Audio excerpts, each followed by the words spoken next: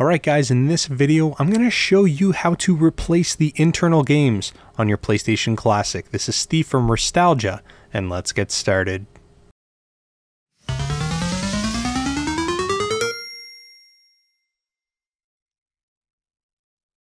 Alright guys, welcome back to the channel. Please do me a favor if this is your first time here, go down below the video, hit that thumbs up button, and subscribe to the channel as we are working our way towards 30,000 subscribers.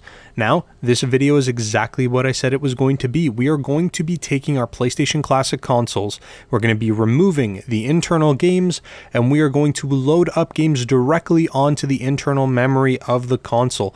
So keep in mind that you are going to need to do this at your own risk. There is the potential that things could go badly if you do not follow the steps exactly how I show you in this video. Now, this is actually something I have had a tremendous amount of questions about how to do or if it's possible. And yes, it is possible thanks to Project Eris. So I do want to mention if you are currently running on AutoBleem, you can't do this process. You need to be on Project Eris in order for this application to work and in order to get these games swapped. And there are actually a few different reasons why some people would want to do it. As everyone knows, Sony made a really big mistake when they launched this mostly because they were using PAL region games. And because of that, we ended up having these games running a little bit slower than we were used to, and they just didn't feel right. So this is actually a way to fix it. If you want to swap the original games, you're going to get much better playability here in North America. But additionally, there is a ton of people who just want to be able to load up, say 20 or 25 games directly onto the internal memory of the PlayStation Classic, not really have to mess around with Project Eris, not have to mess around with AutoBleem, not have to mess around with having USB drives and OTG cables and everything kind of hanging out of the console. They just want something nice and clean. They just want to put their favorite games on here take the console as it is, and that becomes their new PlayStation Classic. And that's what this video is going to show you how to do. So first and foremost, if you are not currently running Project Eris, you do need to do that. I will leave a link in the description on how to get Project Eris up and running if this is your first time or if you are switching over from another mod. Uh, I will leave links for you to follow in the description down below. Additionally, we do need to run the Project Eris desktop app. Again, if this is something you do not have or have not done yet, I will leave links to that as well. It's very simple. It's just an application you download, no need to install. It is uh, able to just run out of the gate. Now let's go ahead and jump into this process. Now, like I said, you are going to want to follow this process literally step by step. You don't want to miss anything because there is the potential risk of damaging your console. Obviously, when we are starting to do things like writing to internal memory, you want to make sure you're doing it properly. First thing that we need to do, grab our current Project Eris USB drive, which I've got right now plugged into my computer. You can see it over here on the right hand side of the screen. And then I've also got my Project Eris desktop app. So what we're going to do is double click on the desktop app and it's going to launch and then it's going to try to look for my USB drive. And in this case, it did pick it up right away. But if for whatever reason it cannot locate that drive, really simple fix. You just have to hit the change drive button and then reselect the drive from where it's going to be living. In my case, it's the H drive and we are good to go. And another really important thing to mention is that you do need a minimum, and that's an absolute minimum, of 30 gigabytes free available on that USB drive. And the reason for that is because we are going to take a backup of the existing games and we are going to put them on the USB drive. And then we also need to have an additional 15 gigs or so um, of space so we can grab our BIN/CUE files and put them onto the console as well. So altogether you need 15 gigs for each, 30 gigs total, and uh, that's going to help you in the event that you ever want to restore this thing back to the stock games. We have them living on that USB drive and it makes that process substantially easier. But now we've got Project Eris and our desktop app up and running, we're going to go ahead and go to our tools section and then jump into the mods cloud. Now you can of course go directly to the mods cloud on the Project Eris website and then download it and then put it into the mods folder within the USB drive if you want to go that route. We're going to do everything through the desktop app just because it is nice and clean. So if you go ahead and take a peek at this mod list, you're going to see something called Project Eris internal apps. We're going to want to go ahead and grab this and this is going to be the application that we're going to use with Project Eris in order to swap our internal ROMs. So that's totally fine. What we do is we can take a peek and we can see how to use it. I'm going to show you guys all this information. Uh, it can be pretty complicated if you are looking at this and you're not very tech savvy. Don't worry about it. The process isn't terribly difficult. We're just going to do things one step at a time. So first step, we're going to download this mod. Now it's going to go ahead and copy that mod right over here. Once it's done, this little dialog box should go away and uh, we're going to be pretty much good to go. It's now going to be copied into the correct folder. And now that we've got that mod file installed and it's in the proper folder, and I can actually show you guys if we hop over to our USB drive and we jump into the Project Eris folder and then into the mods folder, you'll see that this new mod file is there. All that we really need to do is grab our USB drive, pop it into the PlayStation Classic, let it install, and then we're going to start doing a backup from there. So I'm going to go ahead and switch over to the PlayStation Classic, and we're going to go ahead and get that taken care of.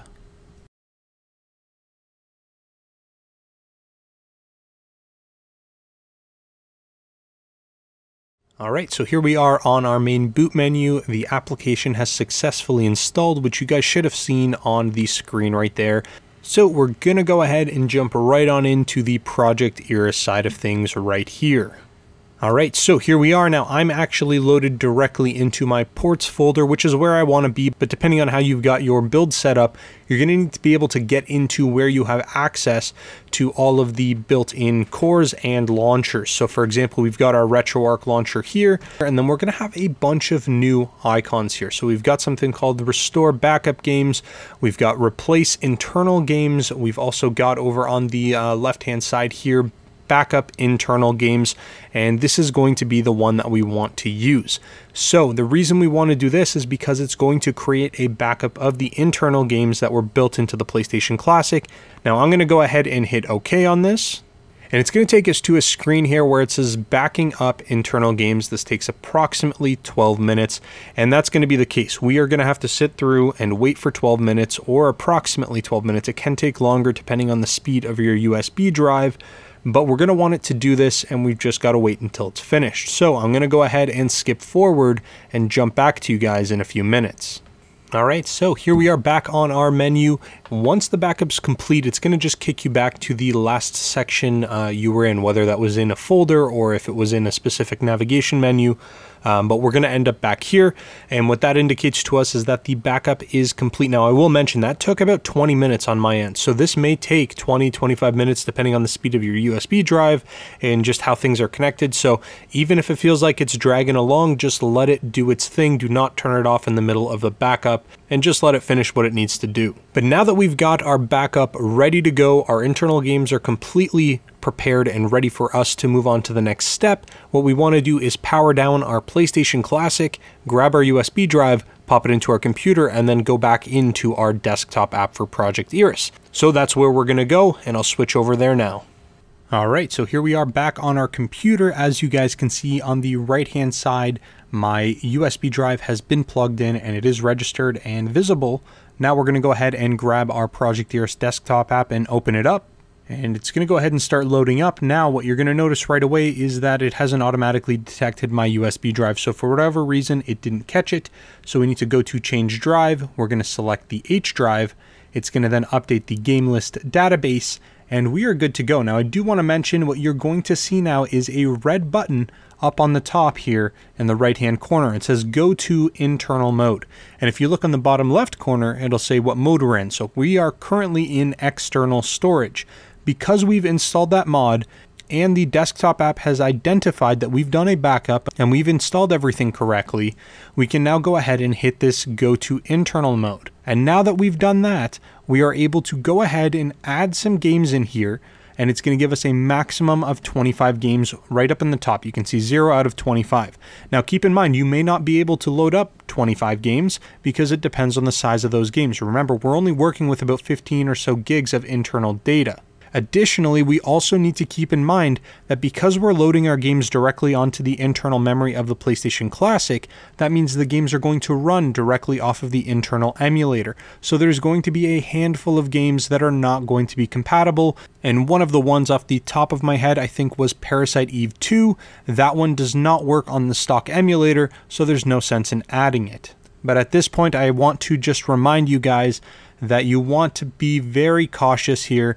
Although this process is quite simple and um, there's very little room for mistakes, if you do make a mistake, it does carry some risks uh, and potentially causing some issues with your console. Additionally, if things are not done 100%, maybe the games won't launch or the games won't have the proper artwork, so we want to make sure that we do things properly the first time around. But as I said, we are now in internal mode. You can see that in the bottom left-hand corner. You can also see that none of my games from my USB populate. If I go back to normal mode, it'll grab my game list. Here's all my games. Everything's good there. But when I go to internal mode, it has absolutely nothing. And one last thing, I'm sure this question is going to be asked, is if you can load other consoles onto here into the internal memory. No, there's no other emulators that can run them. You need to load PlayStation games. That's the purpose of this tutorial. So what's left for us to do is just go ahead and add some games. So what we need to do is create a new database. So we're going to hit the plus one or the add new game feature here. It's going to open up our picture and game.ini helper. We're not going to use that yet because we haven't identified what game we're going to use, so we can go ahead and close that. But over here is where we need to add the files. So I've actually got my folder of games right over here. I'm going to go ahead and kick it over to the side. There we go. And the first game I think I'm going to add to the list is going to be Crash Bandicoot number one. So I'm going to go ahead and grab it. And I do want to mention these games need to be in BIN/CUE. You can't load PBP, you can't load ISO, you can't load anything else other than BIN/CUE. So it's very important that that's the case. We're going to go ahead and grab these games. We're going to drag and drop them and they should populate inside of this file list section. Next, we're going to need to grab the metadata and the box art. So we can go down here and hit the edit game and box art button.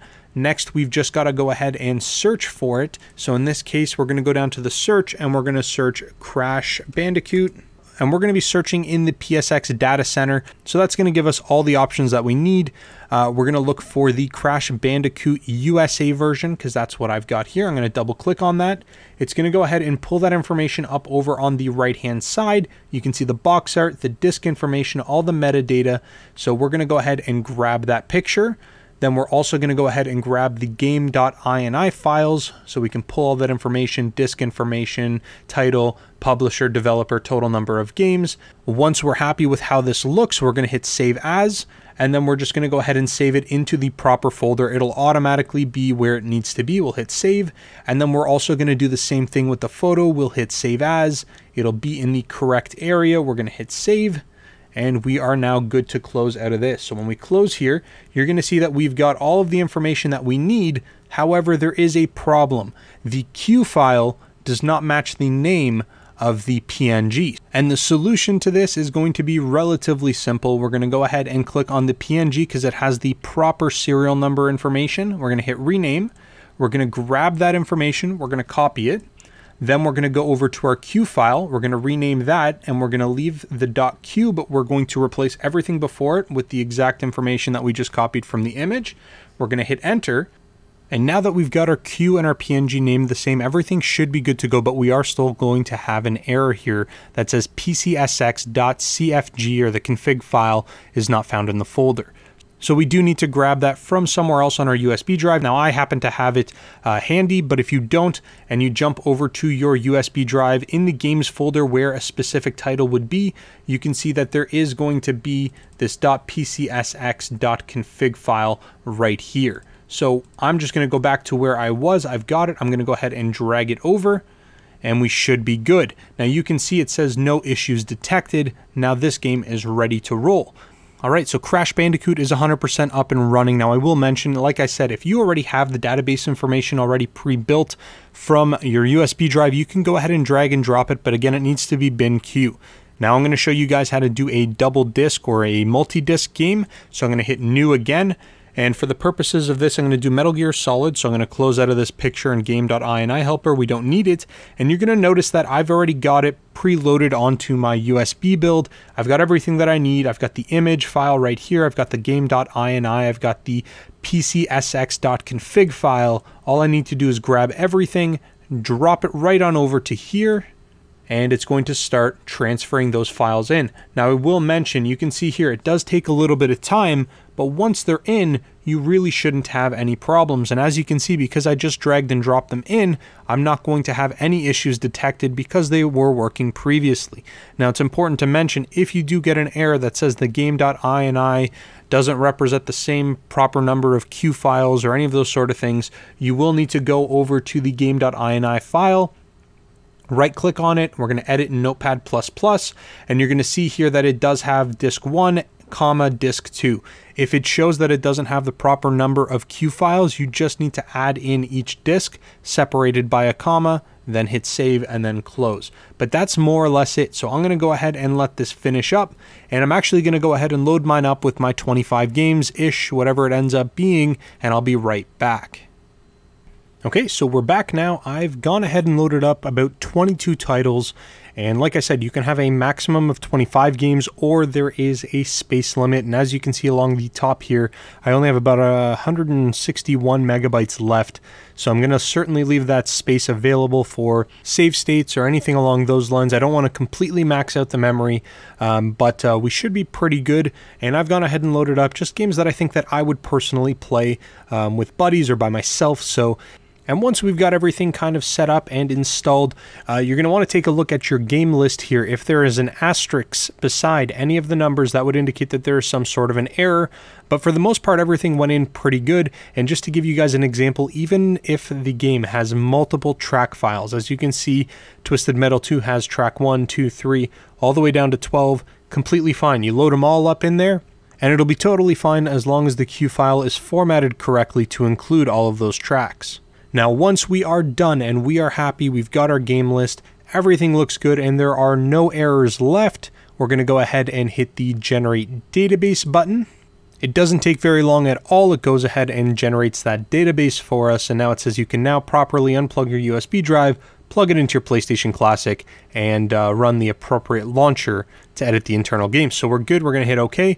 But just to show you guys, I do have my USB drive right over here. So if we jump into the project underscore eris folder, there is an internal underscore games folder. We're going to double click on that. And inside of this games folder, it's going to have the built-in 20 games. So this is going to be our backup of the 20 games that were pre-installed on the PlayStation Classic. We do not want to lose those. Those are going to be important in the event that we ever want to restore back to original. And this is actually important because if you load up 20 games today and maybe two or three months down the road you say, hey, you know what, I'm done with these 20 games, I want to swap it with another 20 games, you're going to want to revert or restore the console back to stock and then start the process over again. And I think that's generally going to be the safest method. So, with showing that that's in there. When you double click on the replaced games, that's where our new games are going to be. And as you can see, I've got 22 different folders here. I've got my databases folder and I have 22 different games, obviously in the desktop app. So we're more or less good. I'm going to go ahead and pop my USB drive into the PlayStation Classic and we're going to switch over to that now. Okay, so here we are on our Project Eris boot menu. We're going to jump into our Project Eris application. Perfect. Now it's going to default sending me into all of my PlayStation games, which is fine, but we need to navigate over to our port section, wherever that is on your build. Perfect. Here we are. And now what we need to do is look for the replace internal games application. So we're going to go ahead and run this, and it's going to be the exact same thing. This is going to take about 15 to 20 minutes, however long it took you to back it up, expect it to take just as long.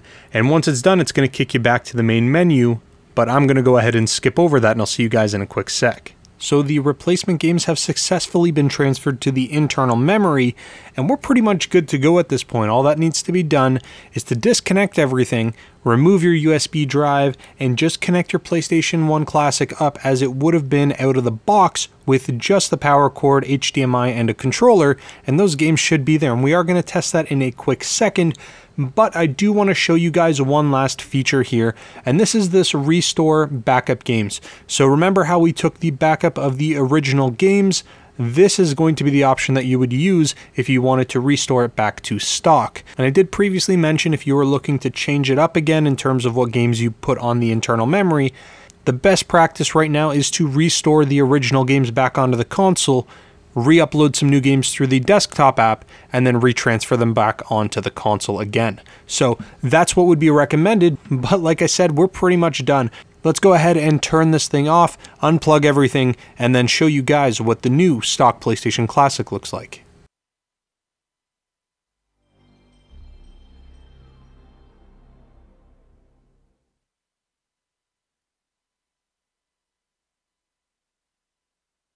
And there you guys have it. So now this is what our new PlayStation Classic internal memory is going to look like. I don't have any USBs connected. I don't have anything other than a power cord, HDMI cord, and a single controller.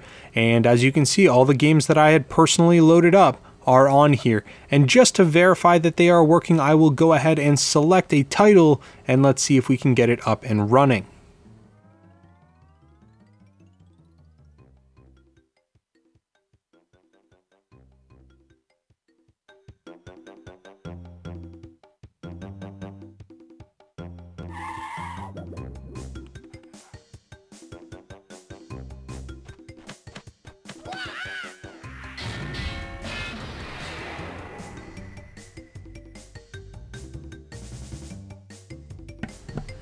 Alright guys, and there it is, Crash Bandicoot running stock on the PlayStation Classic like it should have been included in the first place and uh, everything is going to function as it originally would have. So if we go ahead and hit the reset button, it is going to take us back into the main menu and it will automatically create a save state for us. So save states work, everything else is good to go. But yeah, that's pretty much it.